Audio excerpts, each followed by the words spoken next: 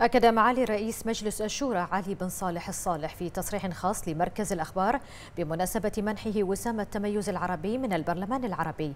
أكد أن هذا الوسام يؤكد على ما تتمتع به مملكة البحرين من كفاءات وطنية متقدمة وذلك بفضل دعم واهتمام جلالة الملك المفدى حفظه الله ومساندة صاحب السمو الملكي ولي العهد رئيس مجلس الوزراء. بداية أن أود أن أتقدم بجزيل الشكر إلى أهل البلاد المفدى الذي منحني ثقته السامية بأن أكون رئيسا لمجلس الشورى ومكنني من أقوم بالعمل البرلماني لخدمة البحرين ولخدمة أبناء البحرين.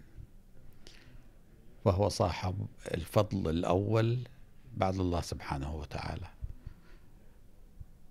وثانيا أتقدم بالشكر الجزيل إلى جميع أخواني أعضاء مجلس الشورى الذين لولا تعاونهم معي لما كنا نحقق هذا الإنجاز.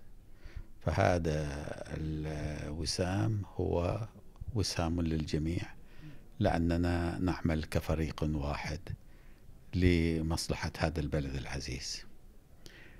ونحن مهما قدمنا فوطننا قدم لنا أكثر وبالتالي فنحن نعجز عن آه، ما نقدم لأن هذا واجب علينا وأنا أعتقد سنعمل بالمزيد لما يحقق مصلحة هذا الوطن العزيز وفق برنامج جلالة الملك الإصلاحي منذ أن تولى آه، مقاليد الحكم في هذا العهد الزاهر.